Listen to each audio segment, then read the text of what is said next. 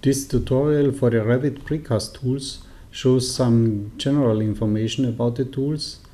It explains the creation of the connections for structural elements and the creation of reinforcement for structural elements.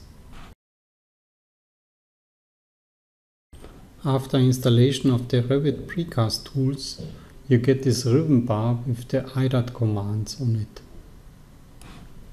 If you select one object like this column and you call an IDAT command, it can be that you get this warning message. That means you have to set the material to precast concrete. To do this, you select the object and you edit the family. In the family editor, you set for structural material the material precast concrete. Then you load this family into the project and override the existing versions. Now to the commands. First uh, we select these two beams and we call the command corbel.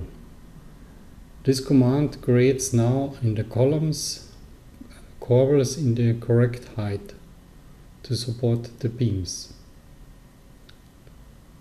The next command is the creation of joist hangers, therefore we select this beam and we call the command create joist hangers.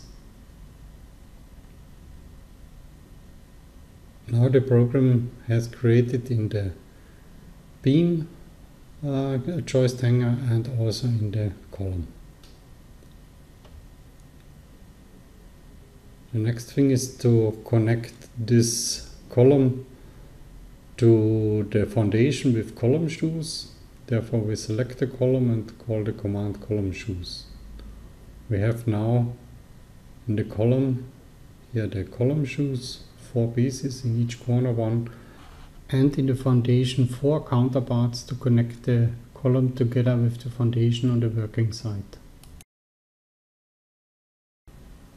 The next command is for reinforcement. We select these two columns with the corbels and call the command create corbel reinforcement. Therefore we get this reinforcement. We select also these other columns and call the command create column reinforcement. This creates the reinforcement for the four selected columns. We can also select everything and call, for example, the command beam reinforcement with here different types of reinforcement and the program creates now for the selected beams the reinforcement.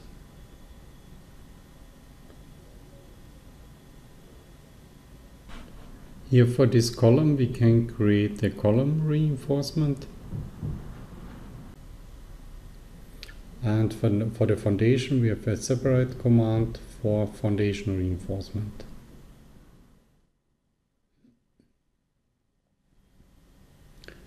If we select the column and the foundation together, we and we call the command column reinforcement, then a special reinforcement is created to connect the column and the foundation together.